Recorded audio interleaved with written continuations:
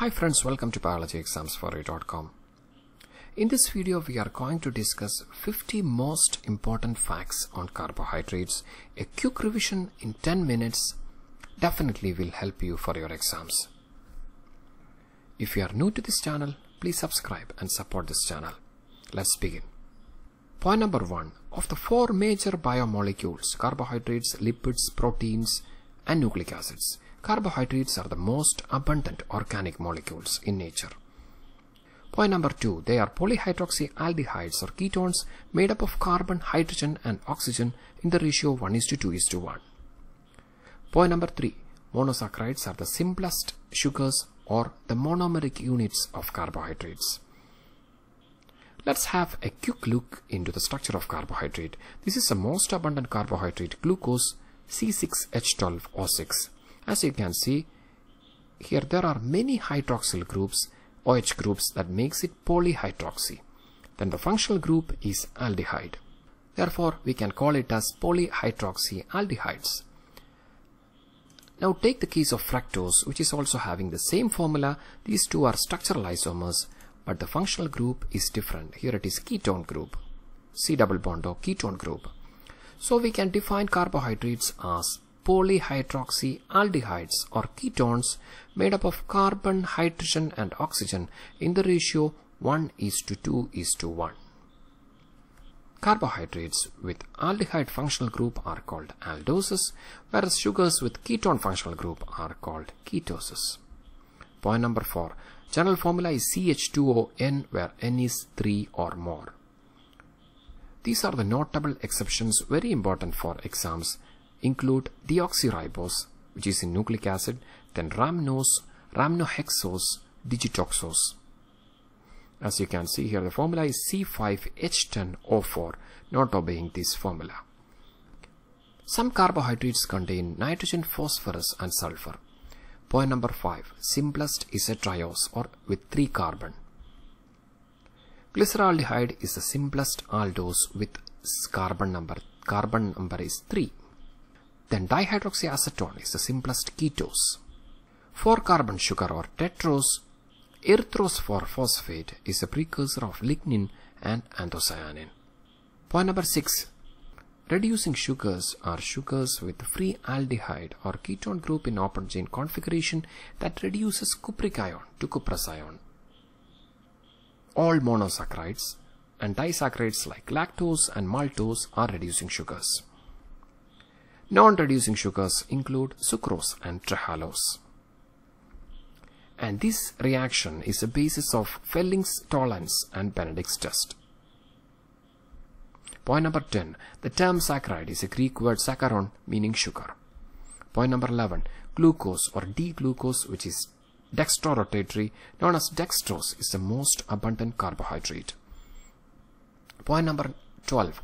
Glucose is synthesized from sucrose or cane sugar by boiling with dilute hydrochloric acid or sulfuric acid in alcoholic solution, glucose and fructose are formed. Or it is synthesized commercially from starch by hydrolysis of starch by boiling with dilute H2SO4 at 393 Kelvin under pressure. Point number 14. Galactose is not occurring in nature as such.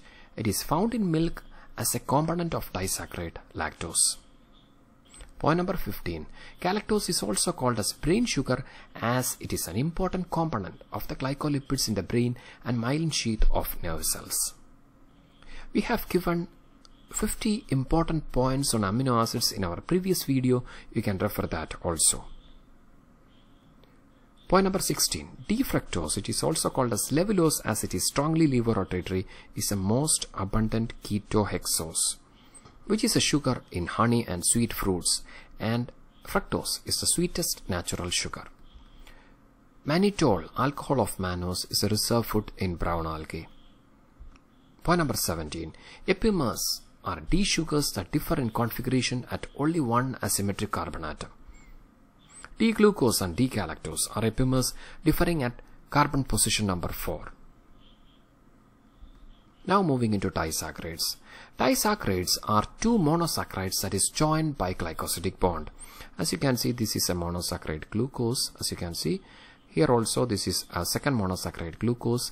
This combines with the release of water to form a bond which is called as glycosidic bond forming maltose. Glucose plus glucose forms maltose and that is joined by glycosidic bond. We have given a short video on glycosidic bond and how this bond is formed. You can refer that also. The link is given above. Point number 19. Examples include maltose which is made up of D-glucose and D 2 D-glucose units that is joined by alpha 1 4 linkage. This is alpha 1 carbon 1 and carbon 4 alpha 1 4 linkage. Then there is sucrose. Sucrose is made up of glucose and beta fructose and the linkage is alpha 1 beta 2 glycosidic linkage. Then the third one is lactose which is made up of beta D galactose and beta D glucose and the linkage is beta 1 4 glycosidic linkage. Now moving into oligosaccharides. Oligosaccharides are carbohydrates usually made up of 2 to 10 monosaccharides units that is joined by glycosidic bond. Raffinose is an example that is a trisaccharide made up of galactose, glucose and fructose. Point number 23. Polysaccharides are not sweet.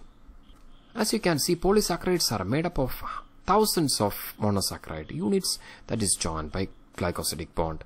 Here thousands of glucose molecules are joined by glycosidic bond in starch.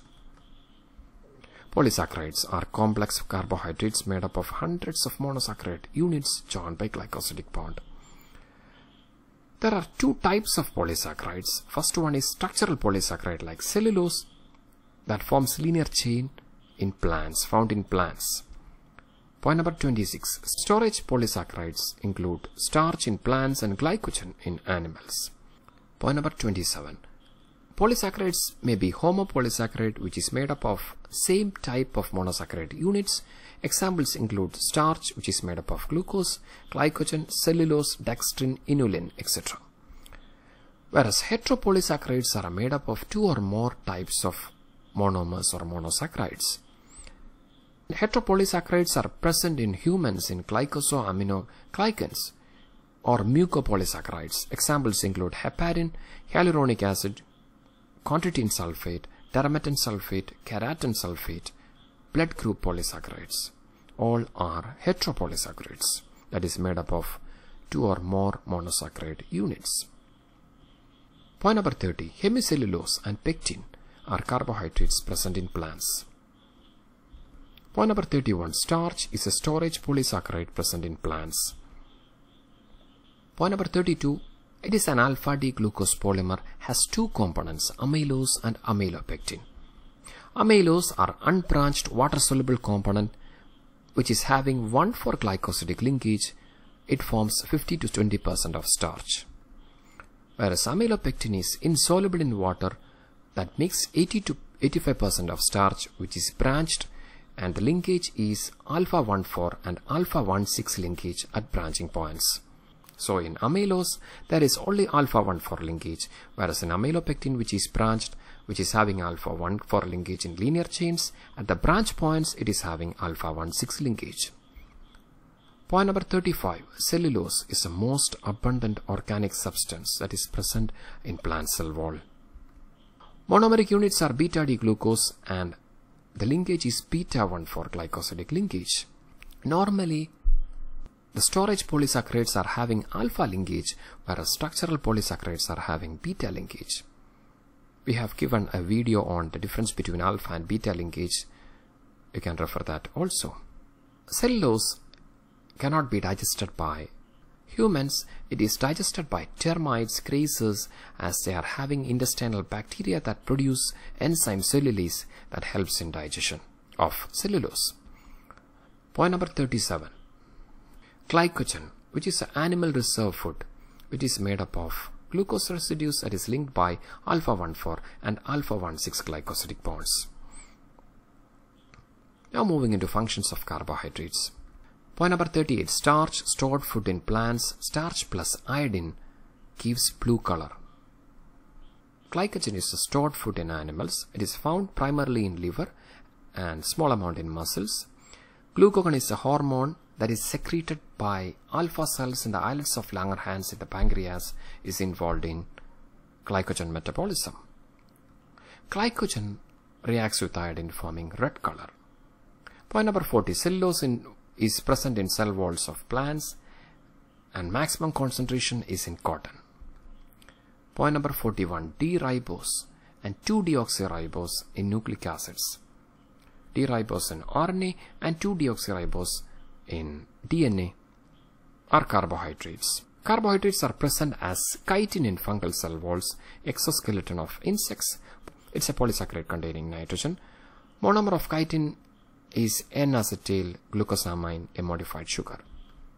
Point number 43. Carbohydrates are important component of many industries like textile, paper, lacquers and breweries. Point number 44. Agar is a polysaccharide that is used in widely used in culture media and also a laxative and a food. Point number 45. Hyaluronic acid found in between joints acts synovial fluid and provides frictionless movement.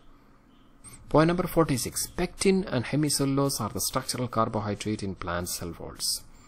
Point number 47. Glycoproteins and glycolipids are components of plasma membrane and plays an important role in cellular recognition process. Glyco glycoproteins are proteins that is bonded to carbohydrate. Glycolipids are lipids that is bonded to carbohydrates. Point number 48. Murein is a structural carbohydrate in bacterial cell wall. So carbohydrates are also involved in protein targeting. If mannose 6-phosphate is tagged to a protein, it will be directed to lysosome. Point number 50. Heparin, anticoagulant of blood prevents blood clotting, which is a carbohydrate. If you have any additional points, please add that in the comments so that everyone is benefited. If you find this video useful, please subscribe, like and share. Thank you so much for your attention. You are with biologyexams4u.com.